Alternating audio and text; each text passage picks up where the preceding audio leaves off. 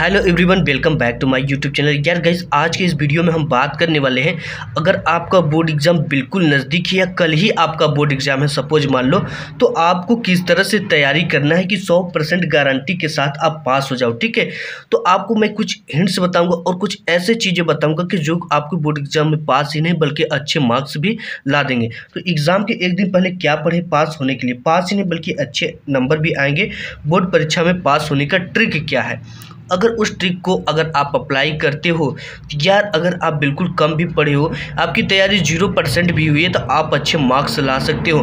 तो trick number जो पहला हमारा काम करता है वो है अब आप सिर्फ़ क्वेश्चन बैंक के ठीक है? आप उस सब्जेक्ट के क्वेश्चन बैंक जो आपका है ठीक है? जो, जो सबसे पहले है सब सब्जेक्ट का आपको क्वेश्चन बैंक लेना है और जो सब्जेक्ट जब भी है तो उसके क्वेश्चन बैंक के जो सबसे महत्वपूर्ण क्वेश्चन आंसर वो टॉपिक को ही पढ़ना है।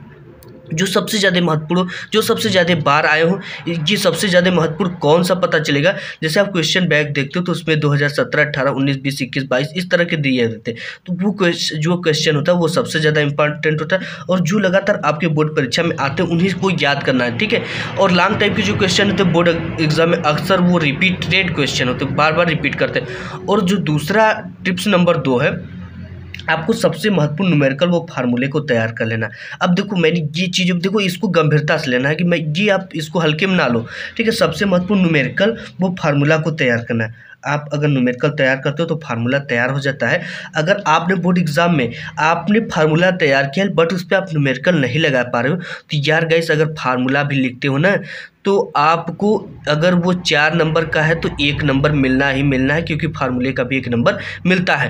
तो ये यहाँ पे आपको फ़ायदा हो जाएगा कि आपको फार्मूला बहुत अच्छी तरह से तैयार कर लेना है। ठीक है, अगर फार्मूला याद हो जाता तो न्यूमेरिकल लगाने में कोई ज़्यादा परेशानी नहीं होती है। तो जिन सब चीज़ों को आपको ध्यान देना है, इसके बाद मेरा एक हिंट्स और भी काम करता है कि जो विषय पहले उसका रात दिन मेहनत करना है आपको। जो भी विषय आपका पहले है, उसका रातों दिन मेहनत करना है, क्योंकि अगर उसमें अगर आप कोई भी जैसे क्वेश्चन है, उसको पढ़ते हो, ठीक है? मान लेते हम राजा राम मोहन राय, ठीक है? ये पढ़ते हो या ओम का नियम क्या है? या फैराडे का नियम क्या है? अगर आप इस सरसरी निगाहों से एक बार पढ़ लेते हो तो अगर उसमें से आपको एक की वर्ड भी याद है तो उससे रिलेटेड आपके दिमाग में आने लगता है, ठीक है? अगर उससे रिलेटेड कुछ कुछ अगर आप भूलते, भटकते लिख देते हो, तब भी आपको मार्क्स मिलना ही मिलना है। इसमें ठीक है, आपका ज़ीरो मार्क्स नहीं मिलेगा, मिलना ही मिलना है।